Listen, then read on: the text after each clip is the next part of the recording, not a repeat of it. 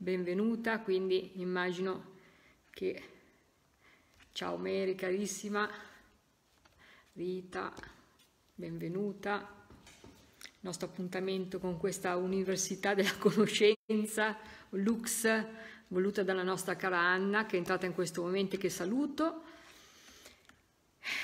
Chiaramente da Enrico, che è l'ideatore di questo meraviglioso canale che è Focus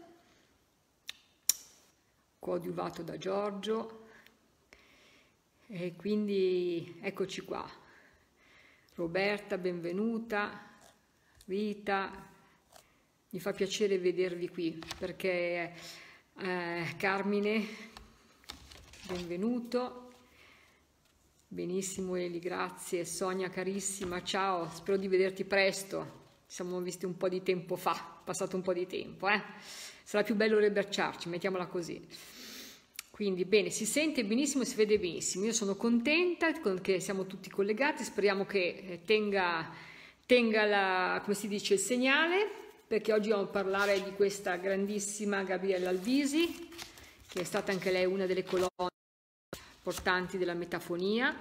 E, anzi, devo dirvi una cosa che mi piace condividere con voi, che ho avuto il piacere di essere stata contattata da una persona eh, che ha avuto l'opportunità di conoscere molti di quei personaggi di cui adesso stiamo parlando e quindi ci siamo ripromessi che eh, con calma parleremo e mi dirà, qualche, mi, dirà, mi, dirà, mi racconterà qualche aneddoto, aneddoto che non è ovviamente nei libri, che ci permetterà di conoscere più, in modo più approfondito questi, queste persone che si sono occupati di metafonia. Quindi un ascolto e sarà una testimonianza privilegiata. Adesso, siccome è una cosa proprio fresca fresca, non abbiamo avuto proprio il tempo materiale di parlare come avremmo voluto, ma credo che questa cosa non sia casuale, perché ovviamente io non credo al caso, questo l'avrete già capito, e questa telefonata di questa persona che comunque ha conosciuto la Laura Paradiso, Padre Ernetti, eh, devo dire Riccardo di Napoli, quindi... Eh,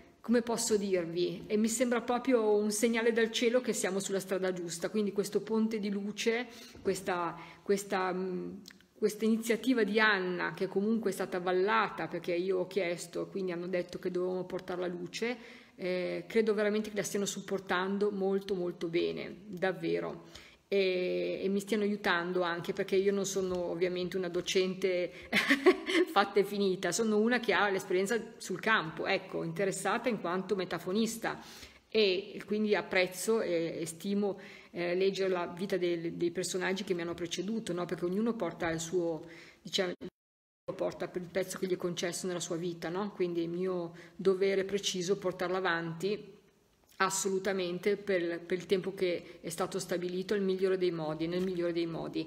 Eh, io ho pensato una cosa, se voi siete d'accordo, faremo una prima parte sicuramente che leggeremo qualche pezzo del libro della Gabriella Alvisi, eh, quelli che ho segnato, io ho letto il libro, ho segnato qualche punto così che è uno spunto per poter eh, riflettere, fare delle domande. E poi magari come l'altra volta lasciamo un piccolo spazio finale, un quarto d'ora, affinché voi possiate fare delle domande e io se riesco ben volentieri risponderò a queste domande. E quindi io do il benvenuto a tutti, siete tantissimi, io pensavo che, che, questo argomento non interessasse a molti perché chiaramente i contatti sono molto belli, eh, però io ritengo sia molto valido, anzi assolutamente valido anche costruirsi una cultura dietro, quindi avere anche un po' di storia, no? perché attraverso gli altri si impara anche noi, eh, io, io per prima.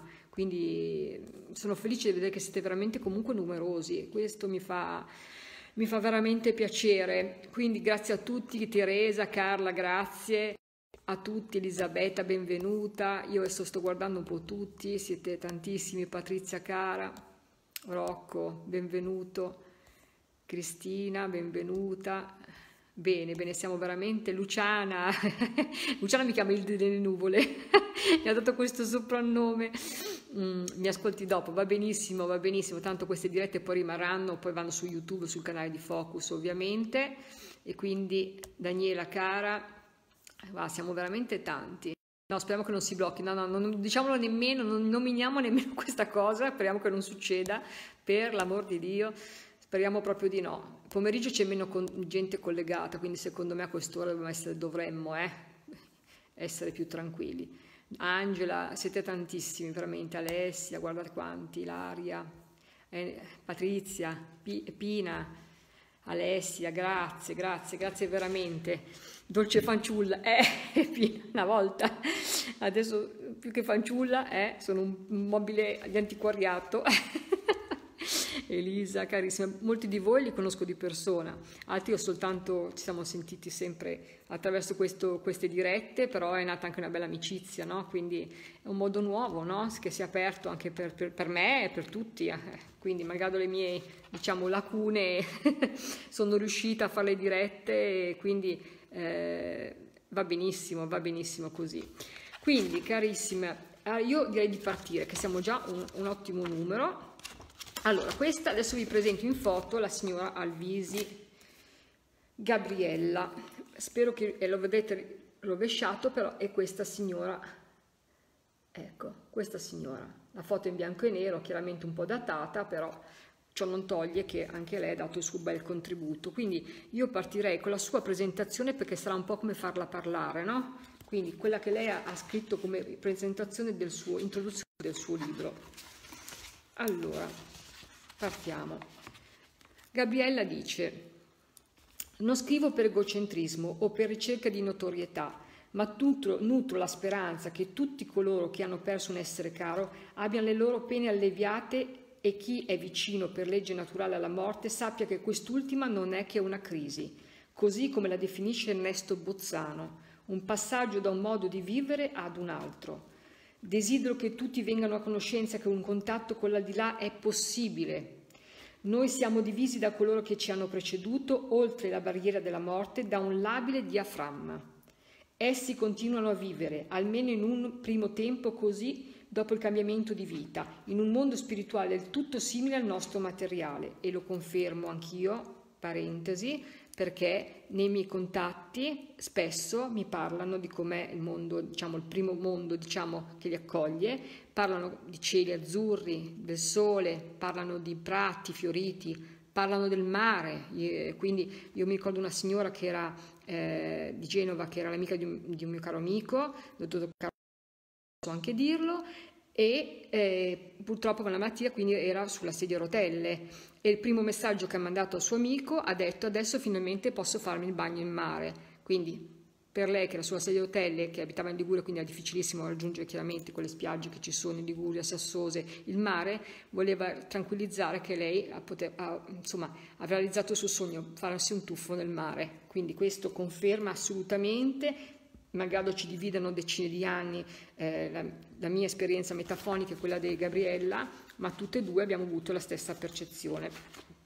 Quindi, eh, allora, Essi continuano a vivere, almeno nel primo tempo, dopo il cambiamento, in un mondo simile al nostro, e qui ci siamo arrivati. Se poi, se noi sperimentatori siamo ormai un numero incalcolabile, non ci decidiamo a contestare i dogmi della scienza e le ipotesi nuovissime della parapsicologia, l'umanità non farà un passo avanti sulla strada della conoscenza, non avrà una risposta alla domanda che l'ha sempre condizionata. La sopravvivenza esiste, quindi l'importanza di testimoniare anche mettendoci diciamo la faccia come faccio io. Eh? L'aldilà è una realtà dimostrabile, il mondo spirituale in cui sopravvivono coloro che ci hanno momentaneamente lasciato raggiungendo una diversa dimensione, ha fatto irruzione in quello materiale. I miei amici invisibili, così li chiama lei, mi hanno detto, Gabri, il miracolo è nostro ed è così veramente. Su un punto mi permetto di insistere, a tale riguardo sono irremovibile. Solo chi ha sperimentato a lungo per un numero considerevole di ore, le mie amore di, am- di esercizio ammontano ormai a, a circa 6.000, ha diritto di esprimere la propria opinione. Ecco, questo è un punto molto importante. Solo chi ha seriamente sperimentato può esprimersi sulla metafonia, perché quelli che non la fanno o che la giudicano da fuori hanno una percezione distorta, come d'altronde l'avevo io ai miei, ai miei tempi, quando leggevo questi libri io non facevo metafonia e quindi non potevo avere un'opinione ehm, eh, corretta, Assolutamente, infatti ero molto prevenuta su questa cosa, dicevo ma no, eh, non è possibile, eh, sembrerà, mh, mm, mi sembrava tutto molto quando poi l'ho, l'ho conosciuta sulla mia pelle in prima persona e ho sperimentato in prima persona, ho dovuto ribaltare le mie opinioni, così come l'ha eh, ribaltate Raudive, come l'ha ribaltate Jurgenson, persone che mh, mm, sono, sono arrivate alla metafonia e hanno stravolto la loro vita. Abbiamo parlato l'altra puntata, l'altra diretta di Jurgenson che addirittura ha lasciato la pittura, che era il suo grande amore, era un documentarista, quindi ha cambiato la sua vita anche con un danno economico se vogliamo, ma era talmente preso da questa cosa che non riusciva ad accantonarla. Stesso discorso è stato anche per ehm, eh, Jürgens, Raudive che ha fatto lo stesso percorso, la Gabriella Alvisi che è arrivata alla metafonia non per ricerca o casualmente come è successo a Jürgenson che ci è arrivata così, gli è arrivata la metafonia nella sua vita così, ora udive, ma per un lutto. Questa donna, dopo mh, ne parleremo, ha perso una figlia e quindi nella ricerca spasmodica di ritrovare sua figlia ha intrapreso questo cammino. Quindi vedete, ognuno ha delle motivazioni profonde che l'hanno spinto a. Andiamo avanti, torniamo un po'. Allora, su un punto mi prendete ecco, quindi chi, chi fa metafonia può esprimere il proprio giudizio. Durante questo mio periodo di ricerca innumerevoli sono stati gli elementi probanti. Il diniego da parte di Certuni trae origine dalla mancanza di conoscenza totale o parziale dei fatti. Personalmente consiglierei di andare molti cauti nel fare supposizioni e nell'avvallare giudizi. Potrebbero risultare avventati e a prioristici. Costantin Raudive, una persona che ho sempre stimato per il suo coraggio, ha sfiorato il ridicolo, ha rischiato di giocarsi la reputazione di filosofo e di letterato, tanto era ormai radicata in lui, dopo le prove accumulate nel corso dei suoi esperimenti, la convinzione che si trattasse delle voci dei trapassati. Se anziché Frederick Jürgensen, lo scopritore del fenomeno, colui che definisco il padre delle voci, citò Rodive, è unicamente perché con quest'ultimo sono stata in, in, rapporto epistolare dagli anni 70. Quindi vedete come si intrecciano le vite di queste persone, no? Ne abbiamo parlato l'altra volta e anche lei a sua volta ha cercato aggancio, conferma da chi l'ha preceduta o quantomeno dei suoi contemporanei di allora, come per me il mio contemporaneo è stato Riccardo di Napoli, è stato lui diciamo il mio faro, anche lei aveva sue, diciamo, i suoi punti di, di, di, di appoggio. No? Queste comunicazioni elettroniche con l'aldilà sono la vera scoperta del secolo e tra non molto non mancheranno di imporsi all'attenzione generale. La storia è piena di uomini all'avanguardia con il pensiero, vittime illustri dei loro contemporanei. Quando Benjamin Franklin presentò agli scienziati dell'epoca il parafulmine, fu deriso e la sua scoperta giudicata indegna di considerazione, così come quando Koch scoprì il bacillo della tubercolosi. Venne oltraggiato dai mostri sacri della medicina, l'elenco si dilungherebbe a dismisura. Questo per dimostrare che eh, quando si eh, dice delle cose che sembrano, sembrano, sembrano non impossibili, invece sono assolutamente possibili, ha, fatto, ha citato degli, degli, esempi illustri, assolutamente. Poi quindi dice se fossimo vissuti nel Medioevo noi, ricercatori saremmo finiti sui roghi dell'ignoranza e della superstizione, accusati di necromanzia e di convivenza con il diavolo. Quindi, oppure guardati con malcelata commiserazione, perché alcuni di noi avrebbero fatto della parapsicologia una fonte di consolazione. Ecco, perché poi c'è sempre il dubbio che quando una persona che ha avuto un lutto eh, grave come una mamma, eh, si, eh, questa, questo fenomeno della metafonia oh, sia un'illusione, ok? Una cosa consolatoria, e invece non è assolutamente così, perché ci sono delle mamme che si sono avvicinate alla metafonia con una, un approccio assolutamente tecnico-scientifico, quindi non tanto consolarsi perché avevano voglia di consolarsi, volevano la prova effettiva che i loro figli erano ancora eh, vivi, perché loro parlano di se stessi sempre come vivi, mai come morti. Ecco, quindi eh, questa è una cosa da, da spiegare. Eh? Quindi andiamo avanti. Un'altra cosa che ho segnato, segnato qua. Ah, perfetto. Qui passiamo poi giustamente aspettate un secondo, questo, ok.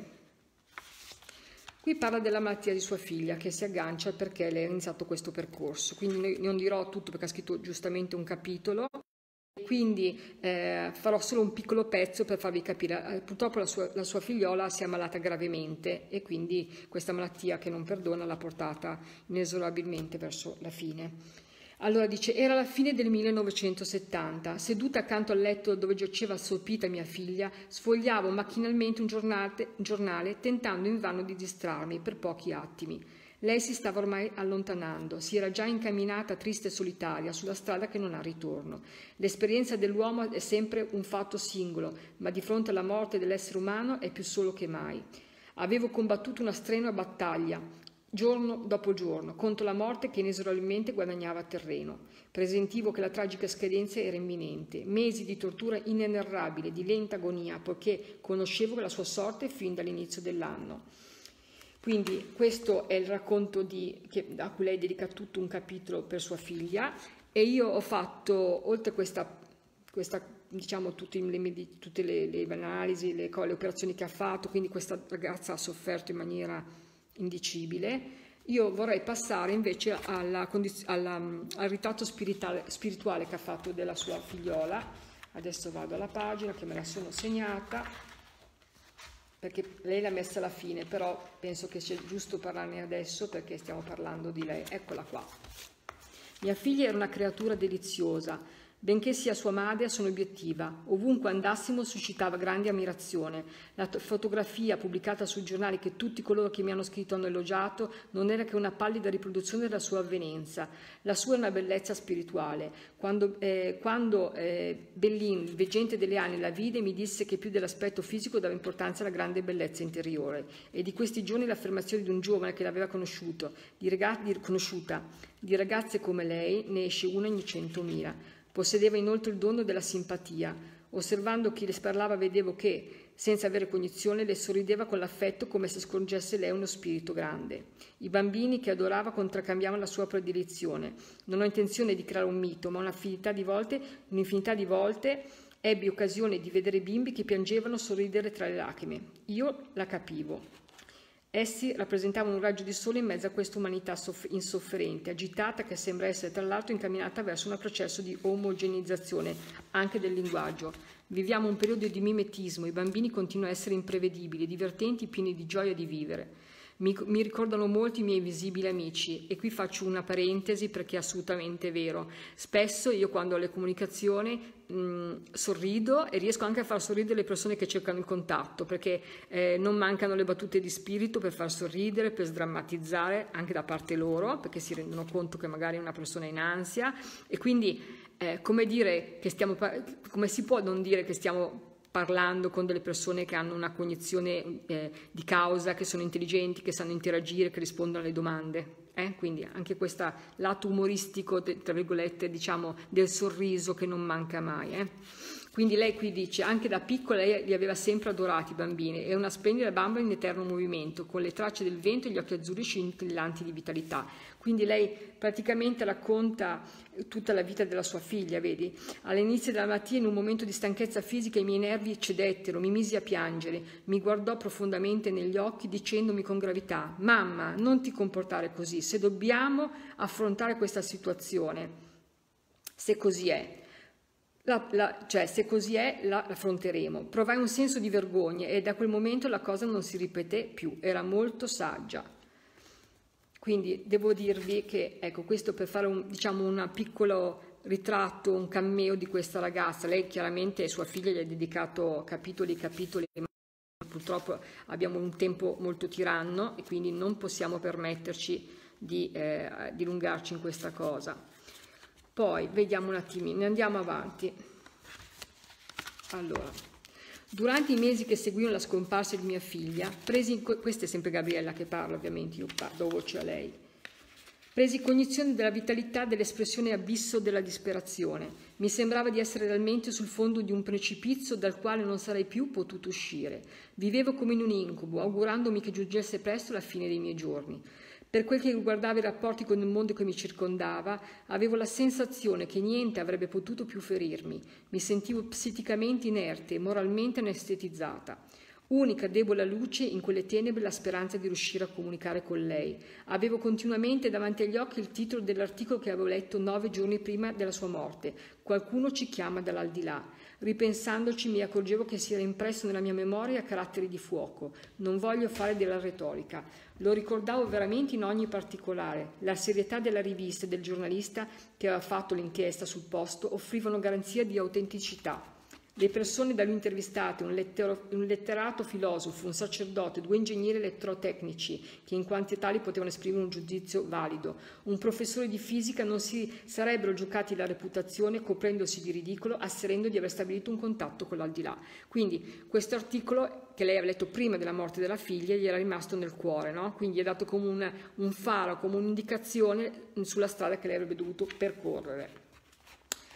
Quindi lei continuava a meditare sull'avvenimento senza prendere alcuna decisione. Ciò che era contrario al mio temperamento, sempre incline all'azione, quindi lei tentennava, aveva dei dubbi no? su questa cosa, cosa faccio, mi, mi interesso, ci provo, non ci provo, no?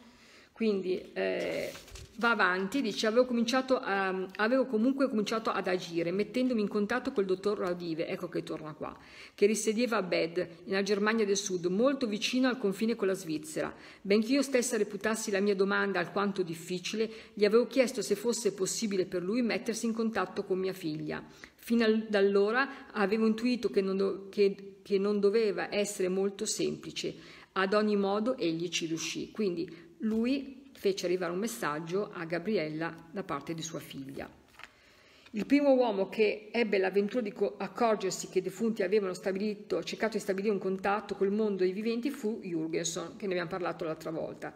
L'avvenimento si manifestò in una maniera fortemente casuale, quindi lei adesso dice a sua volta nel suo libro racconta di Jürgens, di Rodive che, con cui ha interagito personalmente e quindi non stiamo a ripetere la storia che lo sappiamo già che nel 59 durante eh, Jürgens durante una gestazione eh, notturna dei canti notturni degli uccelli eh, praticamente riceve una, una voce, no? quindi riceve delle voci, quindi capisce che in un posto isolato non era possibile e quindi questo gli si accende una lampadina e in qualche modo è, è la parte per questa ricerca. No? Quindi andiamo avanti. Eh, ah sì, che Jürgens pensava finché fossero gli extraterrestri queste voci, ci fu un periodo, infatti quando capì che a chi appartenevano ne fu quasi deluso, no? perché si era quasi immaginato che appartenessero ad altri mondi, no? si sentì preso in giro da quelle inesplicabili intelligenze che parlavano talvolta di simboli come volevano specificare un luogo di provenienza delle voci e lo invitavano a collaborare senza andare al di là delle determinate chiarificazioni, questo è quello che veniva detto a Jürgenson. Ok, quindi questi sono dei cenni biografici giustamente che, ha, che lei ha fatto. Poi qui parla giustamente eh, della, della, vita di Jürgen che non stiamo eh, a ripetere e neanche dei Raudive che l'abbiamo già detto l'altra volta, l'abbiamo già accennato. Qui però devo dire che è un pochino più, più eh, come posso dire, fatta un pochino meglio, eh. potremmo anche, è un po' lunghina eh, perché sono due pagine, però potremmo fare un accenno, sì, eh, vedi, darò, allora, darò qualc- alcuni ragguagli sulla, sulla, vita di Raudive perché ritengo opportuno definire sia pure grandi linee a personalità. Per desiderio della madre, Constantin sarebbe dovuto diventare sacerdote. A quei tempi la religione della Lettonia, a cui era nato e cresciuto, la religione cattolica era molto sentita, il sacerdozio era considerato il culmine dell'elevazione spirituale. Ma Raudive si allontanò dal seminario di Riga. La vocazione deve essere frutto di una profonda ricerca interiore e di una libera scelta. Andò a, Madrid e in seguito si iscrisse alla prestigiosa università di Salamanca, dove riuscì ad avere come maestro Miguel de Unamuno, il cui pensiero filosofico era tanto vicino al suo modo di concepire l'esistenza. Allora, la vita di Raudive fu un appassionato e inedito alla vita immortale. Tutta la sua letteratura fu imperniata su questa ansiosa indagine. Quindi vedete che già comunque anche, anche lui ha comunque questo desiderio col cuore di arrivare oltre, no? Quindi come se lanciasse questo segnale, no? Il povero ragazzo lettone si stabilì dunque in Spagna, paese che gli era congeniale e si mantenne con saltuari traduzioni. Tra l'altro tradusse eh, varie, insomma, Lorca, tante in lingua madre. Frequentò, si laureò in filosofia, lottò, recando con modestia senza fanatismo il suo contributo contro il nichilismo imperante nella filosofia del, nella filosofia del dopoguerra. Allora, poi qui dice la sua opera filosofica, ha fatto moltissimo, qui parla di tutto quello che ha fatto, vedi. Vediamo un attimino se arriviamo al punto. Lo udiva seguendo sempre gli impulsi del suo cuore, prese letteralmente la sua donna nella braccia, cercando di sfuggire alle linee del fuoco attraverso le foreste di pini che ricoprivano il suo paese, qui contro la sua vita anche da fuggiasco, raggiungendo i monti giganti e infine la Svezia. Quindi tutta la, la sua vita eh, racconta, no? quindi una persona sempre eh, avvicinò a Jürgensen di cui apprezzò la lealtà e la scrupolosa onestà, quindi vedete anche questi due personaggi che l'altra volta abbiamo detto che si erano incrociati le loro vite, no? E quindi insomma racconta un po' tutto la sua vita avventurosa. Eh? Poi alla fine dice eh, Rodive è morto prima che la sua verità si sia fatta strada, tra, eh, ma tra non molti tempi saranno maturi. In quella dimensione in cui si trova vedrà coronati i successi dei suoi sforzi notevolissimi, da lui compiuti negli ultimi anni nella sua vita terrena. Essi non sono che il corollario di un'esistenza tesa a dimostrare che l'aldilà esiste e che lo spirito dell'uomo, come tutto l'universo, non si disperde, ma si trasforma. Egli sosteneva che noi siamo creature della luce, cioè ritorneremo ad esserlo dopo che la morte del corpo fisico ritorneremo pura energia. Con Jubel Sorodive aveva in comune tanta, tante qualità necessarie a portare avanti la ricerca, tenacia, perseveranza, intelligenza, spirito combattivo e entrambi si erano trovati in mezzo alle faide degli uomini, perché sono tutti uomini che hanno eh, attraversato diciamo, il dopoguerra e, e tutte le vicende dei loro paesi non sempre felici, come abbiamo detto prima. Quindi e da loro, deriva, avevano, eh, da loro, derivava una grande avversione verso la violenza, la lotta di parte, le per le ideologie, per tutte quelle istituzioni che costringono l'uomo a ragionare dentro schemi fissi, incapaci di considerare ed ammettere idee altrui. Quindi l'apertura mentale, vedete com'è importante, non essere chiusi, eh, chiusi mentalmente, ecco, essere disposti a guardare oltre gli schemi che ci impongono tutti, eh? Quindi devo dire molto molto molto interessante questa cosa, molto interessante. E quindi va avanti, eh, poi dice... Eh, mh, Respingere a priori l'intuizione solo perché non, non quadra con le nostre idee preconcette non è adeguato al nostro raziocinio. Come non è parlare di ampi dubbi e notevoli perplessità se non si conosce il fenomeno e dare un giudizio negativo su sperimentazioni su cui si è all'oscuro. Quindi difendono strenuamente questa cosa, capito? La conclusione alla quale ha raggiunto l'Audive dopo anni di studi e di contatto con parapsicologi insigni era la seguente. Noi non conosciamo niente di ciò che ci fa muovere, che ci guida, niente della sorgente delle nostre facoltà paranormali. Quindi dopo mesi, anni di studio, lui è arrivato a questa conclusione e quindi l'Alvisi, vedete, si appoggia a questi studi di chi l'ha, preceduta o eh, in qualche modo si fa suo, un suo pensiero, eh, poi personalmente, no? Quindi torniamo alla nostra Gabrielle Alvisi e dice a mio giudizio esistono comunque prove di cui darò atto nelle pagine che seguiranno che escludono la partecipazione di questo inconscio. Ecco perché molti dicono che è l'inconscio che eh, risponde alle nostre domande il nostro sé che non è possibile perché questo non spiega perché nei messaggi arrivano eh, delle prove eclatanti per le persone di fatti o cose assolutamente sconosciute al metafonista non spiega perché rispondono alle nostre domande quindi si presuppone che ci sia una forma intelligente dietro, se no non risponderebbero, ok?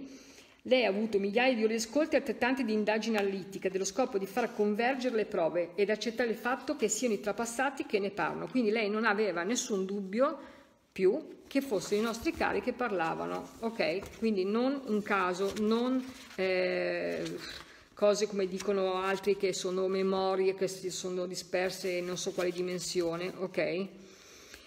Allora, il premio Nobel Max Planck, il padre della fisica moderna, l'audace teorico dei quanti, che ne sono serviti di base agli sviluppi della nuova fisica, affermò durante un congresso la materia in sé non esiste.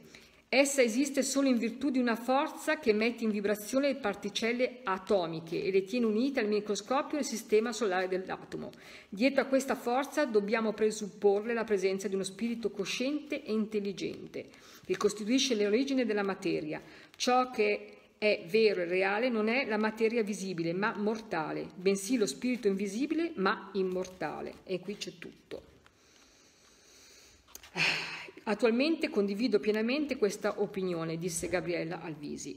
Einstein, che si è avvicinato al problema dell'esistenza post-mortale con la sua teoria della dimensione atemporale, diceva che la morte è un passaporto per altrove. Questo detto da Einstein. Quindi vedete quante persone, eh, voglio dire anche scienziati, avevano delle idee molto chiare, molto chiare, pur non essendo metafonisti. Eh? Quindi, allora, consigli pratici per stabilire il contatto con l'altra dimensione. I contatti con le voci vengono stabiliti con il cuore oltre che con il cervello. Ecco, su questa cosa io insisto sempre molto. Infatti il mio libro non a caso l'ho intitolato Dal cuore all'infinito. Perché il cuore è una potente antenna, l'amore è eterno e quindi da qui la vibrazione dell'amore che fa da ponte per comunicare con i nostri cari.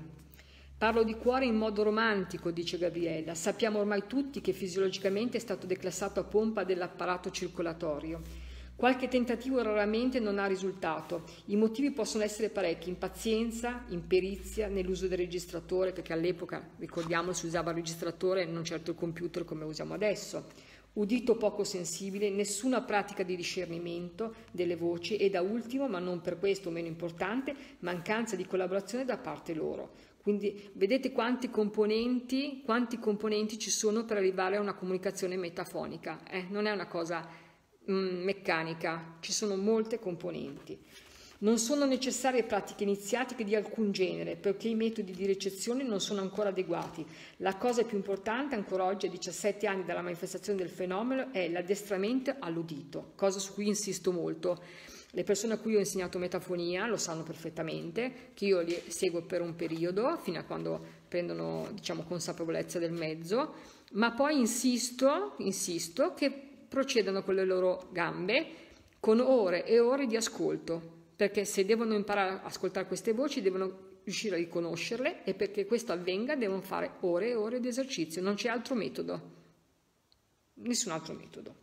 E poi ci sono tutte le, pazienza, il discernimento ovviamente, perché non è che tutti quelli che accendono un computer e arrivano messaggi metafonici a go, eh, perché lì poi si entra in altre cose, si può essere, capito, ecco, si può sentire quel che si vuole sentire. Ecco. Quindi ci vogliono le prove di evidenza, hm? Almeno questo è per secondo me la cosa necessaria. Poi dice, ciò permette dopo un lungo esercizio di distinguere al primo, al primo acchito le voci oltre che alla registrazione anche in mezzo a interferenze radio, riconoscendole singolarmente. Questo succede anche a me, quando il tuo orecchio è allenato eh, tu riesci comunque a percepirle, io le percepisco anche sul telefonino, mi arrivano anche sul telefonino, eh, sulla segreteria telefonica, ok? Sulle foto, anche delle volte le foto filmati, ecco, mi sono arrivate anche lì, quindi in momenti assolutamente di, di relax non ero assolutamente eh, canalizzata, però è come se fosse una cosa per loro normale farmi arrivare i messaggi. Chiaramente messaggi importanti, non eh, magari in un momento della mia vita particolare che ho bisogno che mi dicessero delle cose, me le dicevano, me le facevano arrivare comunque, ecco.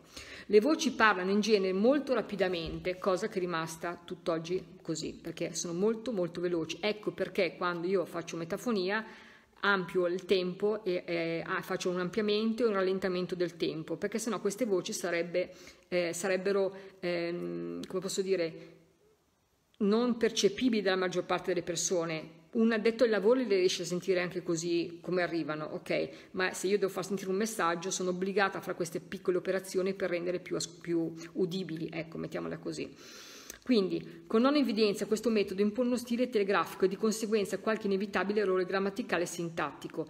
Porto un esempio, una voce mi chiese una volta, fa rimanerci con un'intonazione fortemente nostalgica, probabilmente intendeva dire facci rimanere, ecco questo succede anche a me, usano come un linguaggio un po' desueto, come se fosse vecchio, no? E infatti ho fin pensato che non usino più le parole nell'alta dimensione, perché sono sicura, perché avendo avuto esperienze di, di premorte, uh, mi ricordo che la mia comunicazione era assolutamente mentale con, quando interagivo nell'altra dimensione e quindi come se, secondo me è come se avessero disimparato a parlare, ecco questo che volevo dire. E poi simbolica, molto simbolica, come se avessero poco tempo e per darti un'idea di una cosa passano, fanno prima darti un esempio che farti un discorso magari di dieci righe, ecco. Quindi per chi volesse approfondire lo studio delle voci è necessario che il magnetofono sia dotato di prese per il microfono, per l'apparecchio l'apparecchiolario, per eventuale amplificatore cuffie. Ecco, qui stiamo parlando ovviamente di 50 anni fa, quindi voi l'ho spiegato l'altra volta, le registrazioni venivano fatte con le cassette, eh, con, prima con i nastri, proprio le bobine, quelle grosse, e poi si passò alle cassette, addirittura per rovesciarle si smontavano, si girava il nastro e poi si riavvitavano, quindi un'impresa epica. Adesso con un computer fa un, un tac e si gira giustamente tutta la, la situazione. Poi, dunque, ho segnato anche un'altra cosa qua. Beh, chiaramente procede, ci vuole un locale silenzioso, quindi lei dà dei consigli ovviamente perché per quelli della sua epoca se volesse, avesse voluto fare delle registrazioni, quindi un locale silenzioso, il microfono, chi, capito? Quindi spiega un pochino diciamo delle cose tecniche ma che possiamo anche bypassare. Questo è importante, il pensiero, della, il parere della Chiesa. Ma l'anima non muore. Passando davanti al piccolo cimitero di un paesetto del Piemonte, dominato da un castello medievale, questa scritta attirava la mia attenzione più di un elaborato concetto filosofico. Cominciai a riflettere sul fatto che l'idea della sopravvivenza affonda le radici nel profondo dell'anima, a prescindere dal grado di cultura, dagli insegnamenti di ogni genere ricevuto. È innata, fa parte della natura umana. Ok? Infatti, se ci pensate anche eh, i popoli indigeni, così comunque hanno un senso del, del, di, che poi lo raffiguro nella foresta, nell'acqua della cascata, però il senso di, di, della divinità c'è, è proprio innata nell'uomo, ok? Quindi, esiste veramente la sopravvivenza chi mi è stato chiesto cosa pensa la Chiesa riguardo il fenomeno delle voci. La Chiesa ufficiale non si è ancora pronunciata sul fenomeno delle voci, per quanto attualmente non intende ostacolare la ricerca scientifica. Le opinioni dei singoli sacerdoti risultano comunque discordi. Ve ne sono alcuni che l'accettano, altri che tentano di impedire il contatto con l'aldilà. Mi telefonano persone preoccupate del fatto che il loro confessore cerchi di distogliere da fare esperimenti. Il defunto reverendo Frey, noto per i suoi studi parapsicologici, affermava tutto ciò che ho udito mi forza a credere che le voci provengano da entità trascendentali individualizzate, che mi piaccia o no, quindi da prete, eh, non ho il diritto di dubitare della realtà del fenomeno. Quindi questo è un prete che si è espresso studioso di questi eh, fenomeni, come molti altri, eh, di cui avevamo parlato anche l'altra volta. Poi, ero in contatto personalmente, dice Gabriele, anche con il reverendo Smith, eh, della Svizzera tedesca, che era un parroco. Era un ricercatore, oltre che un parroco, registrava le voci e con, lei possedeva una copia delle nastri sue, con le sue incisioni. Egli afferma, qui si tratta di una ricerca che ha per oggetto la verità, ma non c'è verità che non conduca a Cristo, che ha affermato in se stesso, io sono la verità. Perciò ogni progresso verso la verità è un passo avanti verso di lui. Quindi la Chiesa di Cristo non ha nulla da temere da una serie di indagini Sarebbe ben difficile sostenere che questo fenomeno sia nient'altro che una proiezione subconsciente. Quanto più studio il fenomeno, tanto più mi convinco che all'origine delle voci stanno esseri intelligenti, che non so- sottostanno alle leggi di tempo e di spazio.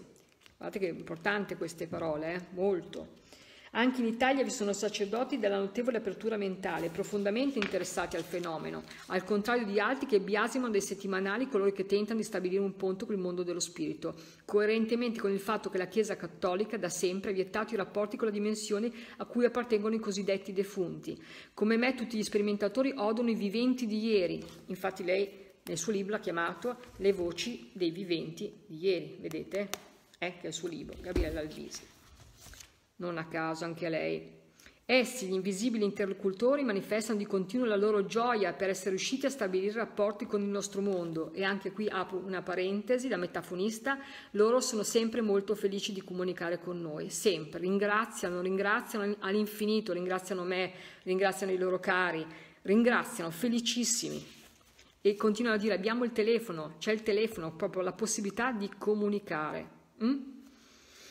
Quindi vedete che si trovano le stesse parole a distanza di 50 anni. Eh? Perché doveva essere messo, dice Gabriella, perché doveva essere messe in dubbio le loro parole? Per me il fatto di voler impedire un rapporto con il mondo supersensibile è semplicemente un pregiudizio che si trascina da troppo lungo tempo. Quando questo contatto sarà diventato generale, reale per tutti, l'umanità non potrà che migliorare la propria etica, acquistare una maggior tolleranza, un maggior senso di giustizia sociale, di fratellanza verso i propri simili, avrà il culto della verità. Capirà che il colore della pelle non implica nessuna differenza tra l'uomo e uomo, si renderà conto che le cariche onorifiche, i titoli accademici, i nobiliari, le divise, la posizione sociale, la notorietà, altro non sono che inutili apparenze. Saprà che ciò che conta è il livello spirituale raggiunto, il distacco dal denaro e dal materialismo, il disimpegno da tutti i desideri, l'amore verso i propri simili. La libera e facile comunicazione con la dirà implicherà la scomparsa del timore della morte, la completa serenità di spirito. Contribuirà a dare coraggio all'umanità sofferente, lenirà i tanti dolori, creerà nuove speranze.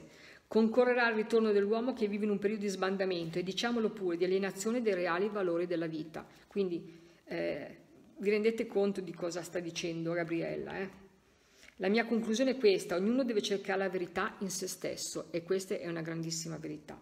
Personalmente rispondo al mio operato e della mia coscienza, senza intermediari non voglio che sia il pensiero, mio pensiero l'unica vera verità a cui l'uomo può disporre, sia costretto dagli angusti spazi di idee e preconcetti. Quindi lei dice io la penso così, non voglio imporre la mia idea come non impongo la mia, io dico sempre chi vuol credere creda, chi non vuol credere pazienza e la vita è troppo corta perché io mi ferma, possa fermare per, per convincere chi non vuole essere convinto, no? a tutti i costi. Quindi assolutamente no, assolutamente no. Oh, dat- io non vedo l'orario, datemi un, un, magari un, che ore sono così vi lascio un po' di spazio anche per le domande, perché io quando me leggo poi mi perdo. Fantastico, dipende dalle cose veramente. Ecco qua. Conosci- ecco, questa cosa è una cosa importante, eh, che poi ne parleremo ancora perché questa persona che mi ha contattato ieri ha conosciuto anche Padernetti, quindi questa cosa. Hai ragione Cristina, una fatica fare queste dirette. Ciao Anna, eccoci qua, stiamo rientrando tutti, ci siamo, eroici, eroici, grandi, perfetto. Ah, eccoci qua, sì, sì, stiamo rientrando, diamo un attimo tutto tempo a tutti di ricollegarsi. Benissimo, ciao Dalise. Eccoci qua, sì sì, stiamo arrivando. Riprendendo, tutti eroici che state resistendo, come sempre le mie dirette sono sempre molto travagliate. Eh? Lo sapete che in questa zona è dimenticata dagli uomini e da Dio, come dico io, e le connessioni sono quello che sono. Ciao Maria Giulia, la mia amica Pritice, anche lei. Dunque, stavamo parlando Ecco qua, siete arrivati quasi, quasi tutti, state rientrando, i più eroici come sempre. Stavamo parlando di Padernetti, comunque Gabriele Alvisi è riuscita a conoscere, ha avuto anche lei la fortuna di conoscere eh, Ernetti, padre Ernetti, il famoso padre Ernetti del cronovisore di cui avevamo parlato l'altra volta. E quindi andando avanti, diciamo che eh, lei racconta come è avvenuto questo incontro. No? Dice: Mio marito, dovendo recarsi a Venezia per affari, mi offerse di andare con lui, mi offrì di andare con lui. Mi balenò subito la possibilità di raggiungere Padernetti, al quale avevo scritto tempo addietro. Possedevo due numeri telefonici, uno del Conservatorio Benedetto Marcello dove insegnava, l'altro corrispondente al suo luogo di residenza, sull'isola di San Giorgio Maggiore. Immaginavo che si trattasse di un convento, dato che Padernetti appartiene all'ordine dei Benedettini, ne parla presente perché ovviamente era vivente all'epoca, appartiene all'ordine dei Benedettini. Era sera inoltrata, fece il numero, una voce femminile rispose, qui Fondazione Giorgio Cini. Temo di aver sbagliato, dissi, avrei voluto parlare con padre Ernetti, glielo chiamo subito. Tutto andò a posto come in un gioco di incastro, ebbi un interessante colloquio con lui. La prima cosa che mi disse spontaneamente fu che non si rendeva conto del fatto che, come l'avevo chiamato al telefono, gli fosse balenato subito alla mente il mio scritto, quando erano migliaia di lettere che riceveva ogni giorno. In, relativamente, ovviamente riceveva queste lettere riguardante la sua scoperta che era apparsa sui giornali del cronovisore famoso, no? quindi la possibilità di vedere eh, una macchina del tempo praticamente. Quindi. Inoltre eh, gli disse non so come abbia potuto raggiungermi a Venezia perché in questi giorni faccio la spola tra questa città e Roma. Quindi era stata una serie di casualità fortuite e fortunate per cui riuscì a incontrarlo. Padre Ernetti era un uomo di una modestia e semplicità eccezionali, dalla fisionomia intelligente, aperta e gioviale. Naturalmente tutti si chiedevano perché la sua scoperta no, non fosse stata divulgata.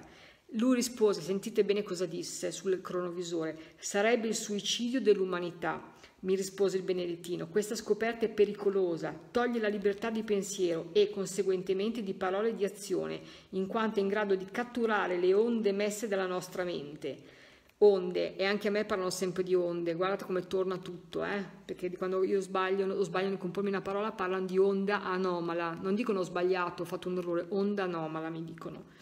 L'umanità per accettarla dovrebbe capovolgere la propria etica. Di conseguenza autorità religiose e civili non ne permetterebbero per ora divulgazione. Quindi capite la portata di questa invenzione si attende per farlo una conferma ufficiale da parte degli scienziati di altri paesi. In America stanno mettendo a punto questa ricerca. A tale scopo esiste una, un numero ingente di antenne che coprono circa 30 km. Quando parlai a Padre Ernetti degli animisti che mettono in dubbio un fenomeno tanto oggettivo come quello delle voci, che si manifestava per mezzo di una fredda macchina amorfa, sbottò. Non mi, pare, non mi parli degli parapsicologi. Proseguì poi con un'intonazione decisa e un po' polemica, riferendosi alla sua scoperta. Se, vado, se vedo una persona che su una collina della Galilea predica in aramaico il discorso delle beatitudini, mentre la gente accorre ad ascoltarla, che motivo avrei per mettere in dubbio che si tratti del Cristo? Vi rendete conto? Le onde sonore visive che noi mettiamo, mi spiegò, non si distruggono, ma si trasformano e restano eterne e onnipresenti. Di conseguenza, con apparecchiature adatte, si possono ricostruire come avviene con altre energie. Per mezzo dell'oscilligrafia elettronica è possibile dimostrare che la parola è musica, ritmata in ogni suo elemento. Non solo, ma anche il grafico delle vocali, delle sillabe, delle parole pronunciate è diverso in noi. È così possibile ricostruire le personalità di ogni singolo individuo. Queste onde, dunque, emesse dall'uomo, sono trasformabili, ma ricattabili e ricostruibili dagli apparecchi. Qui spiega in poche parole la sua invenzione. Ok?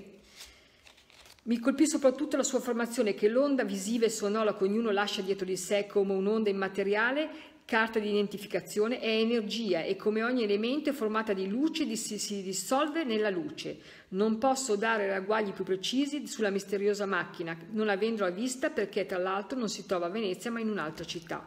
Padre Ernetti mi fece la descrizione dell'immagine che si presenta sullo schermo come un terrificante boato, come un botto e su questa devo dire anche qui apri una parentesi specie nelle prime comunicazioni, quando io avviavo la comunicazione, arrivava all'inizio alla fine come un, un botto proprio, esatto, proprio un boom, proprio una botta fortissima, sorda, no? come una botta di energia, un'esplosione. E qui parla della stessa cosa, come se, chissà, chissà forse, non lo so, però è la stessa cosa succedeva a me. Eh, adesso non più, però inizialmente sì, i primi anni sì. Occorre disporre un salto del sistema nervoso. Personaggi morti recentemente, di cui sia un'ampia documentazione sia visiva che uditiva, sono stati riconosciuti perfettamente senza possibilità di equivoci. Ecco, quindi io dico che questa testimonianza della Gabriella Alvisi è di una portata eccezionale e poi comunque l'arricchirò eh, quando riuscirò a parlare in maniera più approfondita con questa persona che ha conosciuto Padre Ernetti, perché l'ha conosciuto, quindi avrò modo di avere qualche ragguaglio in più sicuramente che mi, che mi, mi interessa e mi servirà. Quindi andiamo avanti, quindi chiaramente l'Alvisi ha ricevuto anche dei messaggi, adesso ve lo dico, anche da personaggi famosi, no? come Rodolfo Valentino, che a suo dire aveva già in vita diciamo, eh, delle, dati, delle, doti medianiche, no? e quindi eh, con Lefebvre, quindi eh, interpellò i miei amici sull'assurdo caso di Lefebvre, chiedendo che cosa ne, ne pensassero. Mi risposero, ci ha accorti alla Prière, Lefebvre, Roma non conta più, non importa più, ennesima dimostrazione che di là ognuno ha idee personali, come avviene tra di noi. Durante la stessa trasmissione si fa vivo Rodolfo Valentino, soggiungendo, dopo aver declinato il suo nome, l'uomo più amato. Quindi, e ancora e allora che torna alla mia memoria una supposizione che avevo già ventilato, eh, che Valentino aveva doti medianiche e quindi che il gruppo, come li definisco, degli specializzati che comunicano per radio abbiano conservato nell'aldilà le facoltà che avevano sulla Terra e io di questo ne sono sicura. Se una persona in vita era, che ne so, simpatica, un, spiritosa, nelle comunicazioni ripresenta le, le stesse identiche qualità, ecco, le stesse identiche qualità, proprio caratteriali, no? Eh, se era eh, fredda rimane fredda il modo di affrontare anche la comunicazione, no? Quindi questo è importante secondo me. Ecco, qui fa un episodio che racconta di Gabriele D'Annunzio, no? Dice, chiudo con l'episodio di D'Annunzio, mi trovo sul lago di Garda, mio marito esprime il desiderio di rivedere il Vittoriale, che è una bellissima casa dove abitava D'Annunzio, che ah, consiglio a tutti di andarla a vedere chi non l'avesse già fatto, veramente splendida. Lo seguo benché non mi interessi un granché, comunque analizzo il personaggio sotto un profilo diverso, mi rendo conto che la sua fu una vita vissuta pienamente, carica di esperienze di ogni genere. Osservo il tavolo su cui reclino il capo morendo in seguito a un'embolia cerebrale. Non so cosa sia l'invidia, ma in questo caso lo intuisco. Deve essere questo il mio sistema per passare all'altra parte. Peccato che non vi sia libertà di scelte. La truppe vecchiaia, come egli la definiva, si era conclusa per lui con una bella fine. Mentalmente, durante la visita, gli chiedo di rispondermi per mezzo del registratore. Quindi lei registra nella casa di Vittoriale. Giunta a casa la sera lo chiamo dapprima col microfono senza risultato, poi per radio. La comunicazione inizia con una frase divertente e totalmente inattesa. Sei un chicchirichì, nulla da eccepire, D'Annunzio era un galletto. Considerando l'importanza storica e letteraria del personaggio mi sarei aspettata un'affermazione di ben altro stile. Lo spero ben fu la risposta, una voce femminile conferma la presenza dello scrittore abruzzese. Quindi egli con estrema nitidezza pronuncia la frase farà quel che non è, nello stile tipicamente d'annunziano, la voce femminile ribatte che cosa vuoi fare d'annunzio? Ecco, queste cose e spesso parlano fra di loro e noi assistiamo, assistiamo a questi eh, discorsi è fortissimo, eh? perché anche a me è successo delle volte che dicono è arrivato un altro, sono qua, sono qua in due, oppure no, adesso ci sono io a parlare, come eh, eh veramente come se si contendesse la possibilità di parlare, oppure vi faccio un esempio che mi è successo a me. Una volta sono andata in un, memoriale, in, una, un, ossa, un, sì, un, ossario praticamente di guerra, di questa battaglia, e sono entrata in questa chiesa ed era un po' diciamo impressionante perché c'erano tutte queste ossa messe chiaramente per arredare tutte le pareti, i teschi, io vedevo tutti i teschi colpiti dai proiettili in testa, io immaginavo erano tutti ragazzi giovani, no? quindi mi, mi, è venuta una tristezza grandissima perché pensavo a tutti questi ragazzi giovani morti in questa battaglia che era morto su questo monte, poi dopo tantissimi anni hanno raccolto tutte le ossa e hanno fatto questo, questo santuario, questo ossario. No? E ho provato un moto di, di, come posso dirvi, di tristezza, sì, tristezza, tanta gioventù per, morta per niente, secondo me, perché possono, per dei valori che, eh, visto quello che oggi c'è, eh, dici per cosa sono morti a fare queste persone, no?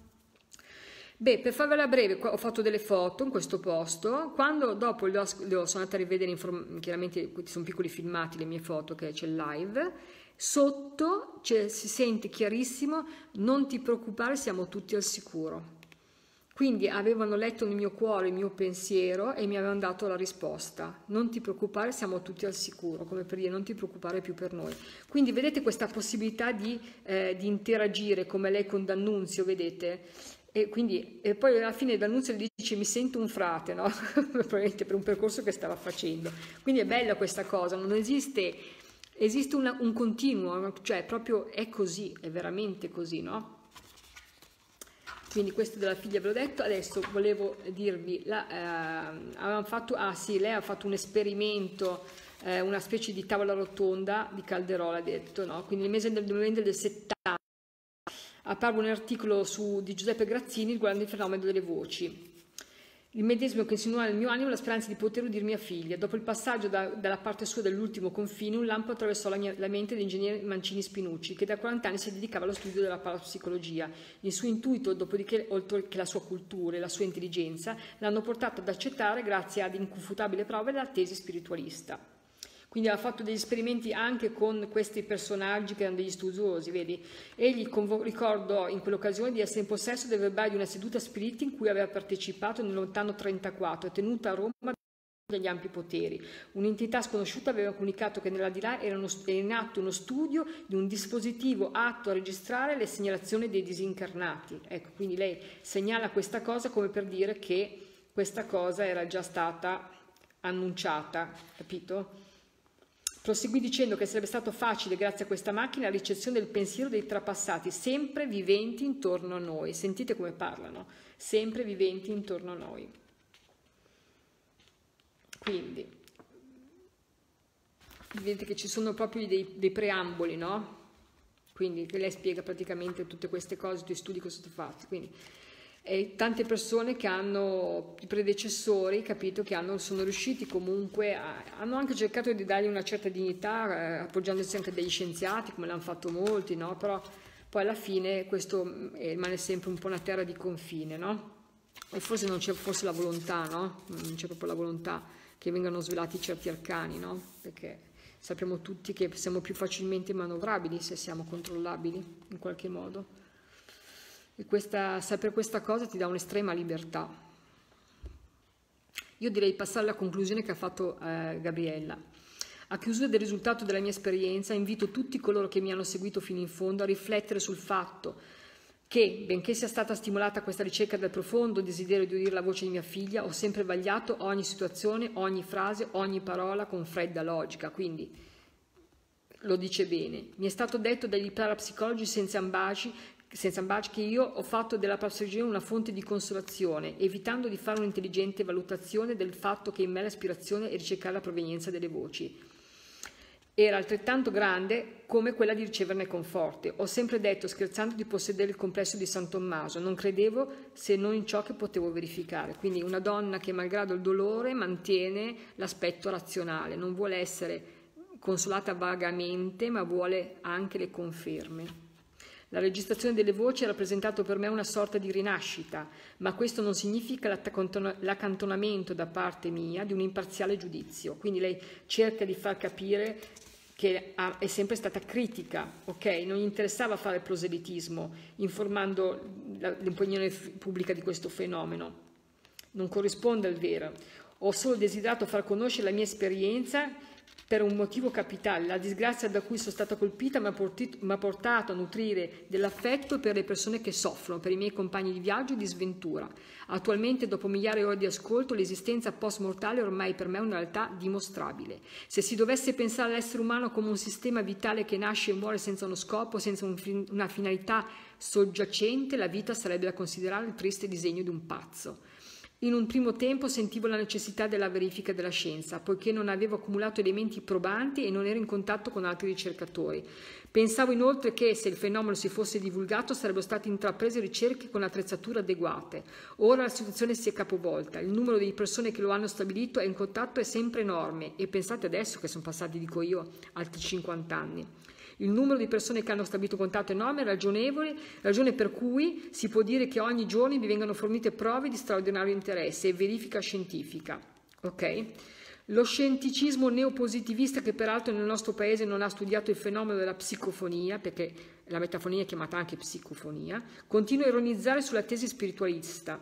Si leggono articoli nei quali si cerca di stipare concetti elucubrati di assiomi, in cui si fa il massimo sfoggio di erudizione, si coniano neologismi sarcastici, si introducono citazioni magari barando, perché molte volte il significato di una frase avulsa dal contesto originale può risultare distorto. E qui altra postilla ce la metto, perché un ti voglio bene detto così possiamo dire che sia casuale, ma un ti voglio bene detto dal tuo caro con la sua voce che aveva in vita ha tutto un altro spessore. E questo succede con la metafonia, non sempre, l'ho, sempre detto, però succede, succede. Le mie parole potrebbero venire giudicate polemiche, ma non è così. Si tratta di semplici constatazioni. Nessuno è in grado nei nostri giorni di dimostrare che le voci non provengano dal mondo dei defunti. E allora perché si parla? Per giudicare occorrebbero delle prove, ma quest'ultime le possiedono solo gli sperimentatori seri, anche se si tenta con mezzi, illazioni e astruserie di vanificarle. Lo studio del mistero, con qualsiasi nome si voglia chiamarlo, metafisica, metapsitica, parapsicologia, psicotronica, è aperta a tutti, con un minimo di cultura di base, chiunque è in grado di fare una valutazione dopo adeguate indagini, coi pro e contro. Innumerevoli sono le persone che sono riuscite a stabilire un rapporto con l'altra dimensione e che ora cominciano a fare apprezzamenti dall'interno, mentre coloro che non hanno mai sperimentato, anziché astenersi dal fare commenti, il che sarebbe l'atteggiamento più logico, continuano dall'esterno a manifestare il loro scetticismo. Il fenomeno delle voci per loro diviene definito come tale, pur non essendo meno fenometico della nascita e della morte. Ho potuto notare che chiunque sia deciso a ricevere messaggi, a costruire un ponte con l'aldilà, superando gli ostacoli quali la mancanza di pratica nell'uso delle apparecchiature, la carenza di tempo, l'estramento dell'udito e dall'ultimo la stanchezza fisica, riesce sempre nel suo intento. E qui con questa frase che, eh, che chiudiamo la storia di Gabriella, eh, è la stessa frase che ha detto Jurgenson, chiunque ha un serio motivo eh, di affetto, di cuore, di, di conoscenza profonda spirituale, ottiene dei risultati. Quindi vedete come veramente ritroviamo gli stessi pensieri, ma li penso anch'io che sono eh, nel 2020, penso anch'io la stessa cosa. Ecco, diciamo che io a differenza loro eh, non, non, sto cercando di fare una catalogazione di tutte le voci che ricevo, perché comunque sono convinta che fra 50 anni, eh, mm, con mezzi che saranno sicuramente diversi da quelli di oggi, eh, non avrebbe tanto peso, ecco questo che voglio, che voglio, dire, perché comunque ci saranno altri metodi, può darsi che poi in, le registrazioni si smagnetizzano, chissà, chissà. E quindi che prove sono? Cioè le prove sono al momento, come detto al momento che tu le fai, che un proprio caro senti la voce del tuo caro, ti dice delle cose della loro vita, ma fra 50 anni non ci saremo più, né io né loro, e, e, e, diciamo 100 anni, cioè, siamo ottimisti così. Eh, non ci sarà più nessuno che potrà dire, come non ci sono più testimoni del, tempo di, di, Gabriele Alvisi, non c'è più Rubias, non c'è più Audive, non c'è più Gabriele Alvisi, non c'è più Ernetti, stiamo parlando di più personaggi e quindi vi dico, io lo faccio con estrema eh, stima e voglio onorare la memoria di queste persone, questo è il mio, il mio scopo, il mio lavoro. Io perdo veramente del tempo, nel senso ore a leggere eh, questi libri, mi fa veramente piacere perché sto riscoprendo delle cose che non avevo valutato perché non facevo metafonia. E quindi voglio veramente rendere, e non potrò rendere omaggio a tutti, nel senso che sono, mi rendo conto che sono tantissimi, ne citerò soltanto qualcuno perché ho dei libri, perché ho trovato del materiale di cui parlare, ma ce ne sono veramente tantissimi. Quindi adesso, visto che la connessione tiene finché tiene, eh, abbiamo letto questo bellissimo libro che vi faccio rivedere, eccolo qua, Le voci dei viventi di ieri, e vi dico, se avete qualche domanda, io ben volentieri rispondo fino a quando è possibile, col cuore, davvero, qualsiasi domanda eh, vogliate farmi, io sono qua. Vi lascio qualche minuto, non, siamo insieme quindi in estrema compagnia, se invece tutto quello che vi ho detto è stato esaudente e quindi non avete domande, ehm, io dopo chiuderò la comunicazione, io questa volta lo decido io, non la connessione che cade. Patrizia mi sta dicendo, stai onorando la loro memoria e serietà. Sì, questa è la mia intenzione, è proprio la mia intenzione. Infatti non parlo delle persone che ci sono viventi, di, ci sono anche adesso delle persone che fanno metafonie valide, però sto parlando di quelli di ieri, quelli che non ci sono più. Lorella dice, credo che in tutto quello che hai detto loro ci sono e sono con noi, ma come facciamo noi a lenire questo dolore lancinante che non ci abbandona? Lorella con una grande, grande eh, ricerca interiore, perché non c'è nient'altro, capisci? Anche i messaggi, è bello riceverli, è giusto, sono confortanti, è bello vedere una persona che arriva a te, eh, eh, diciamo, disperata e ti saluta con le lacrime di commozione e di gioia, perché spesso succede. Però c'è tutto un cammino da fare, non è soltanto il messaggio che uno deve... Io vedo tante persone che dicevano chiedono a tutti, cercano messaggi da tutti, non è, quello, non è quella la strada. Quella può essere un gradino della scala, ok, un gradino, ma poi ce ne sono tanti altri. Cioè noi dobbiamo una, una, trovare pace in noi stessi, dentro di noi, nel nostro modo di essere, nel nostro credo. Quando noi troviamo la pace in noi stessi e capiamo certe cose, cioè che la morte è una trasformazione, affrontiamo anche i dolori della vita, anche i peggiori, e io non è che parlo, parlo a ragion veduta, con, un'altra serenità, con, come posso dirvi, con un altro equilibrio. Ecco, una mamma una volta mi, disse questa frase che una mia, è entrata una mia cara amica, questa mamma mi disse, io non sarò mai più felice perché non è possibile, però ho trovato un equilibrio dove un equilibrio non l'avevo più. Ecco, trovare un equilibrio, questo non ci restituirà i nostri cari in carne e ossa, ovvio, questo non, non è possibile non qui in questa dimensione materiale, però ci fa capire che loro ci sono. Quando parlano di leggero diaframma che ci divide da loro, è proprio così, è un diaframma che ci divide da loro, perché io vedo nei messaggi, loro sanno quello che facciamo nella nostra quotidianità, quello che pensiamo, quello che diciamo, tutto, non come cose, persone lontane, ma persone che sono nella nostra vita capite, nella nostra vita. Poi hanno dei compiti spirituali, ma noi non dobbiamo ragionare in termini materiali, se sono qui non possono essere là. Loro sono ovunque, hanno uno spirito che non ha più limiti fisici, possono essere qui e, nello stesso contempo essere su un altro pianeta, capite quello che voglio dirvi?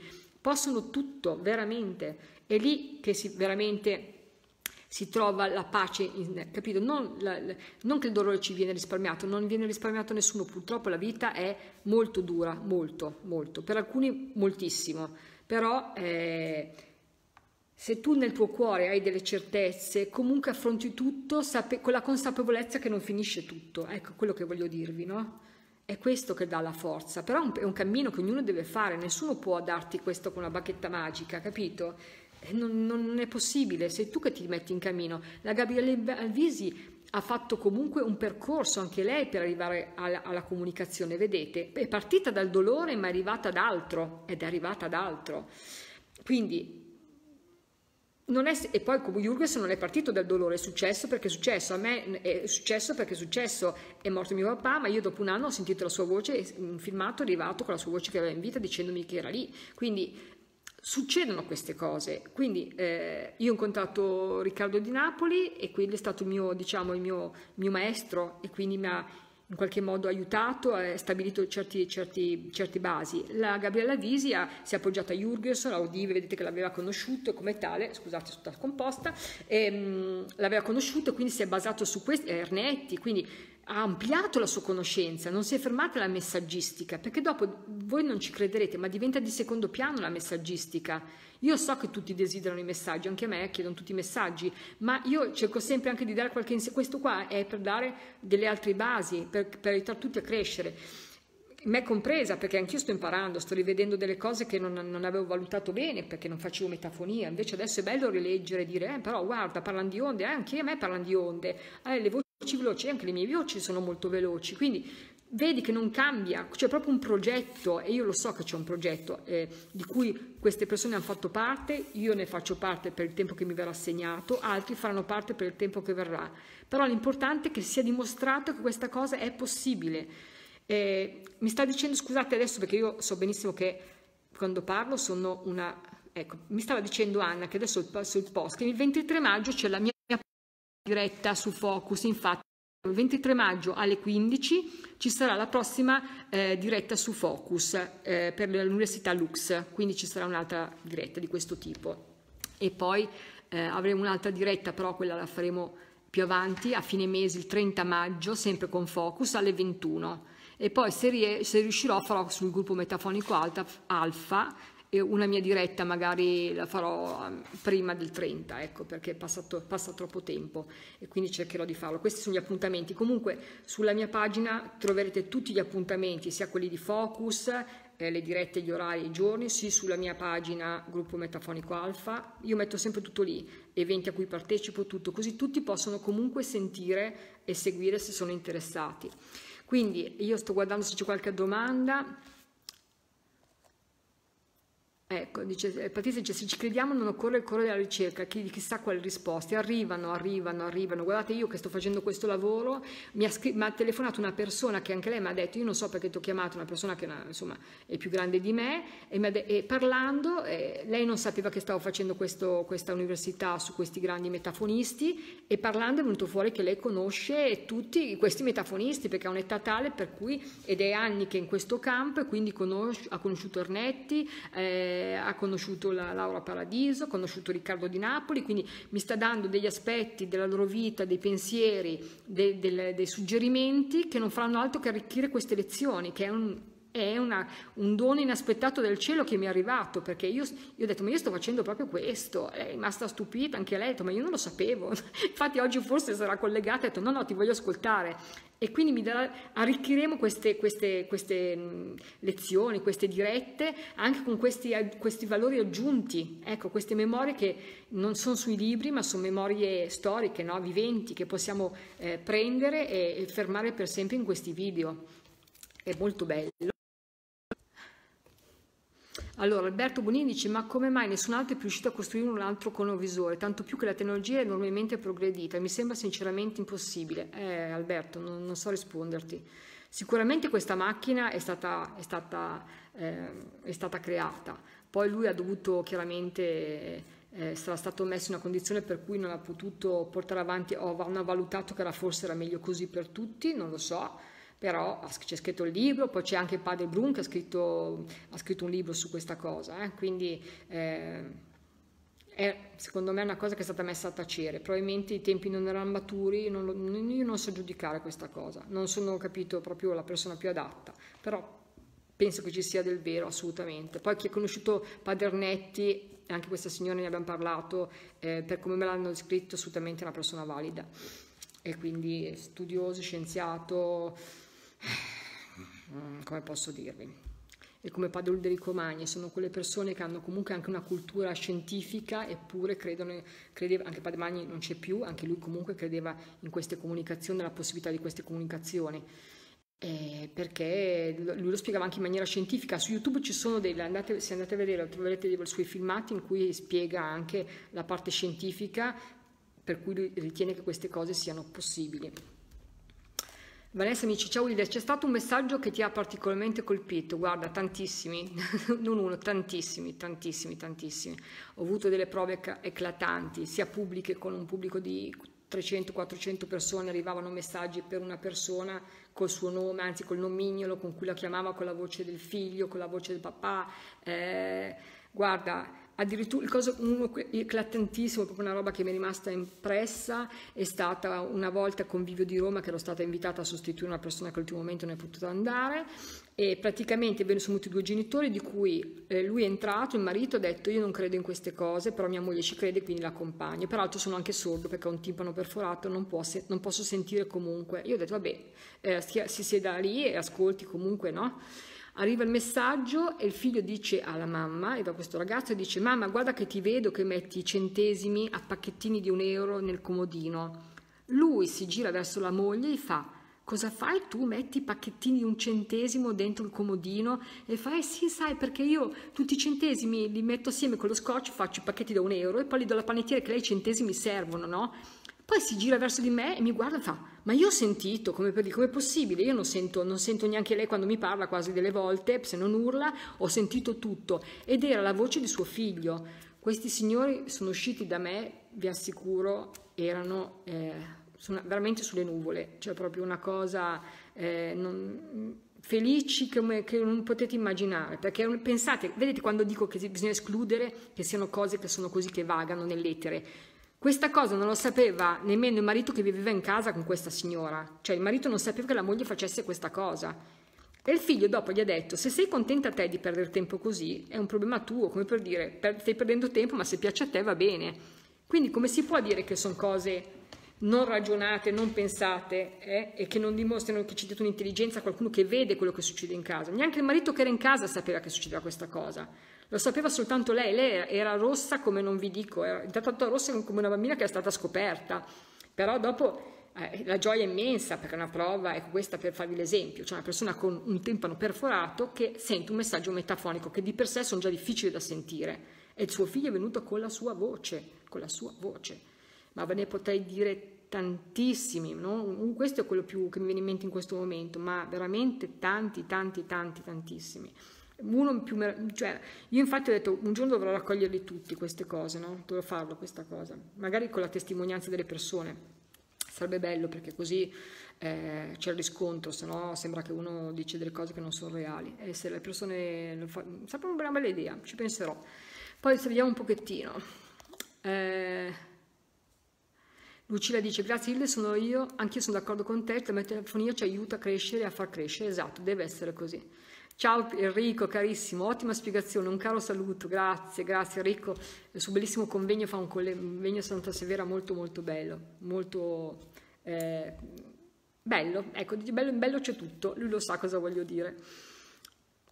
Per ognuno c'è un progetto, sì loro parlano sempre di progetto dell'anima, questo me lo dicono sempre anche a me, hanno detto c'è un progetto come se io facessi parte di questo progetto Grazie, eh, grazie, grazie, a voi, grazie a voi sempre di partecipare così numerosi, malgrado non faccia contatti, questo per me è una grande, una grande gioia. Anna dice faremo un bel lavoro tutti assieme, certo Anna, ovvio. ti è capitato che qualcuno raccontasse, Dorella dice, ti è capitato che qualcuno ti raccontasse un, un contatto fisico? Sì, hanno anche delle percezioni più che contatti fisici, a qualcuno è capitato di vederli o di sentirsi eh, questo succede anche a me delle volte, di sentirmi baciare, poi mi giro, poi dico no, sono in casa da sola, capito? Sulla, sulla fronte, sulla guancia, sì, sì, sì. È, è molto bello. Specie, diciamo, gli abbracci più nei sogni succede che si possa fare questa cosa di riabbracciare i propri cari, perché è, una, è uno stato in cui loro riescono a intervenire molto. Lucilla ha messo un link su Padrenetti, eh, Perfetto, ottimo, così possono guardarlo tutti. Ciao Enrico, grazie dell'ospitalità. Daria dice: Non conosciamo ancora troppe cose delle leggi che dominano l'universo. Il film di Interstellar faceva vedere realtà quantiche parallele. Eh sì, conosciamo davvero poco. Daria è mia sorella, che saluto.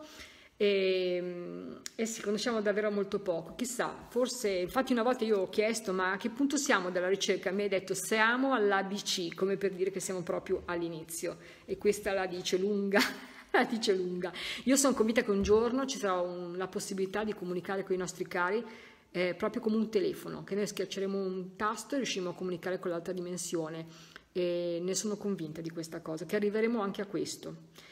Io mh, probabilmente sarò dall'altra parte, però sono convinta che succederà, perché comunque vedete che è una progressione, i, i nastri, le cassette, il computer, vedete che quante cose, no? come stiamo andando avanti. Quindi ognuno deve portare il suo contributo, sempre con razionalità, sempre con discernimento. Io non, non mi stancherò mai di ripeterlo perché è, è, il fondamento. Vedete che anche Gabriele Alvisi continuava comunque a mantenere un, un atteggiamento doverosamente eh, obiettivo e razionale. Ok? Quindi sempre con razionalità, però davanti alle prove eclatanti non c'è dubbio.